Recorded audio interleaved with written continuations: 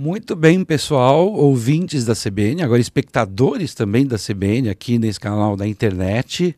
Chegamos ao final de mais um Oscar Pois é, uma bela premiação. Vocês sabem que eu, como entusiasta do Oscar, eu sempre gosto da festa da premiação, gosto dos resultados. É evidente que tem sempre uma ou outra coisa que a gente fica um pouco triste, porque estava torcendo para um, ganha outro. É assim sempre que acontece.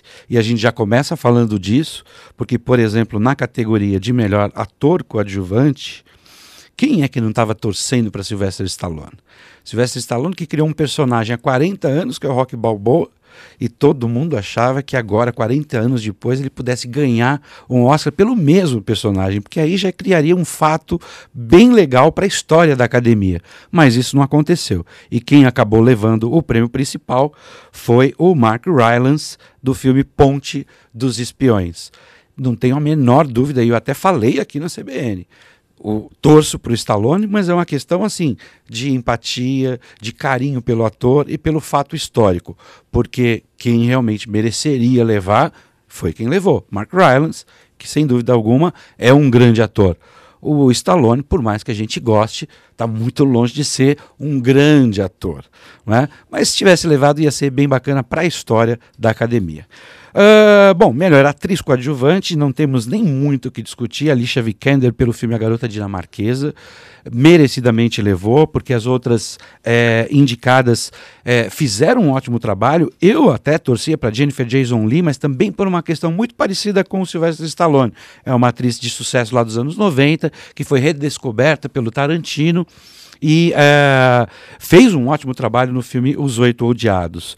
Mas Alicia Vikander, sem dúvida, merecedora desse prêmio do Oscar de atriz coadjuvante.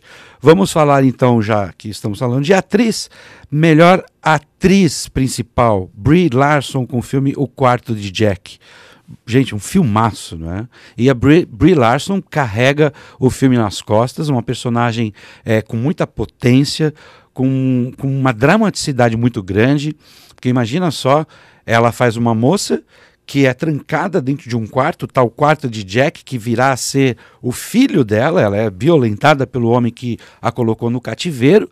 Esse menino cresce ali naquele quarto fechado até um dia que ele vai sair, vai redescobrir o mundo com várias dificuldades para encarar esse novo mundo. A Brie Larson está ótima no filme é, e mereceu porque as outras concorrentes aqui nesse caso realmente não fizeram muita força para superar. Kate Blanchett não está no seu melhor momento.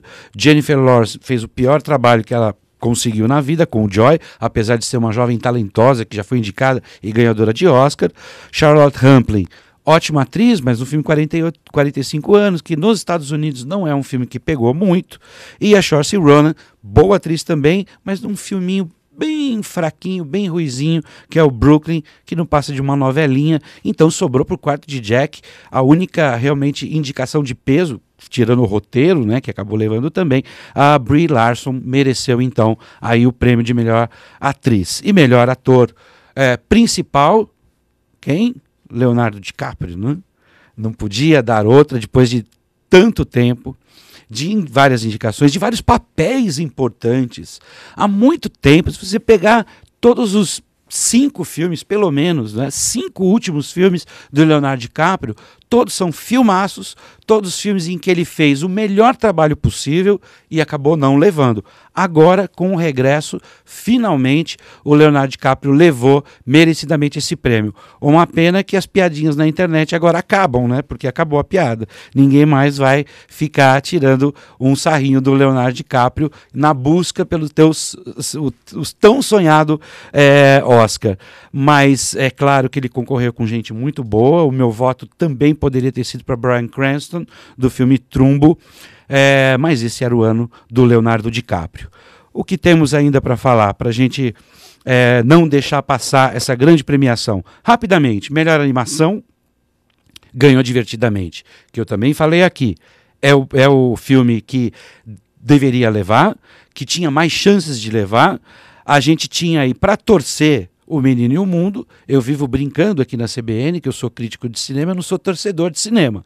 Então eu sempre fui muito sincero. O Menino e o Mundo já podia comemorar, deveria comemorar apenas a indicação porque passar disso não iria. É, uma mente, divertidamente, é uma animação extremamente inteligente, que trata de um assunto difícil, que é um mergulho no estudo das emoções, lá na cabecinha de uma menina, só que contando uma história difícil assim, a Disney e a Pixar que assinam esse filme conseguiram contar uma história onde, é, na qual as crianças conseguem entender.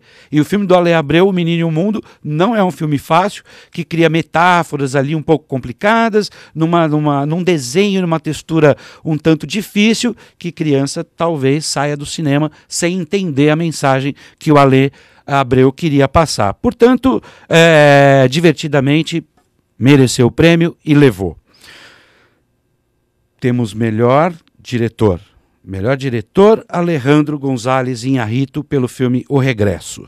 Todos os diretores muito bons, mas acho que sim, O Regresso é um filmaço, com uma direção impecável do Inharrito, que tem planos sequências de tirar o fôlego, e se mostra uma grande conquista do cinema latino-americano. Não do cinema latino-americano, porque O Regresso é um filme de Hollywood, mas de um diretor latino-americano. É a segunda vez consecutiva que o Inharrito ganha o prêmio. No ano passado ele já tinha levado pelo Birdman, outro filmaço. E agora, que Viva México, mais uma vez, Inharrito leva o prêmio.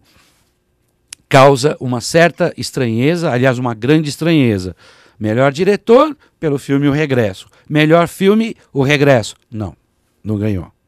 Regresso não ganhou o prêmio principal de melhor filme, que acabou ficando para Spotlight Segredos Revelados. Todo mundo faz assim: Ô Petruccelli, você ficou surpreso com Spotlight ganhar o Oscar? Não, não fiquei. Basta ler as notícias, abrir um jornal que você vê casos de é, denúncias contra a Igreja Católica por conta da pedofilia não é, que corre lá nos bastidores e que felizmente são descobertas e acaba chegando na imprensa. É disso que trata Spotlight. Quer dizer, é um filme que está falando sobre uma realidade, atualidade. Então, para mim, não é surpresa nenhuma que esse filme tenha levado esse prêmio. E mais ainda, é uma grande resposta da academia dar o prêmio para esse, esse filme quando surgiu aí, quando as indicações foram anunciadas, toda uma questão de é, preconceito, de racismo no Oscar. Spike Lee falou um monte porque não tem atores negros e não sei o quê. Aqui é uma resposta política da academia para falar: estamos de olho numa questão importante que é a pedofilia na Igreja Católica. Vamos cuidar das nossas crianças. Foi foi o recado que os produtores do filme pediram ao, ao, Papa Francisco quando foram lá para receber o prêmio. Então é uma mensagem política, a academia tem sim esse pensamento. E para finalizar, já que eu falei dessa coisa do preconceito, a melhor coisa desse ano, a abertura, a abertura do, do Oscar e a condução da apresentação do Oscar pelo Chris Rock. Ator, negro, comediante, conhecido por ser um boca suja, que fala muito palavrão, que fala o que pensa e deu um show. A abertura do cara fez calar a boca de toda a parcela da hipocrisia de Hollywood que fez essa campanha aí contra o suposto preconceito racial da academia no Oscar. Duas coisas importantes que o Chris Rock falou. Primeiro, se a academia tiver que premiar todo ano atores negros, eles vão ser obrigados a criar uma categoria especial categoria de melhor ator negro em filme de ação. Atri, melhor atriz negra e numa comédia dramática. Só se for assim. Porque no, aí é, fica difícil, né? A gente sempre achar que tem que ter ator negro por uma questão de cotas. Não, não é assim que a coisa funciona. E segunda coisa interessante que o Chris Rock falou é justamente o tapa na cara daqueles que reclamaram. Jennifer Lopes, Will Smith, Jada Pinkett Smith e o próprio Spike Lee que levantou a bandeira. Eles nem foram convidados. Vão fazer boicote com, com Oscar. A gente só faz boicote se foi convidado. Eu não vou. Eu fui convidado, mas não vou. Mas eles sequer foram convidados. Gente, vamos parar com a choradeira, não é verdade?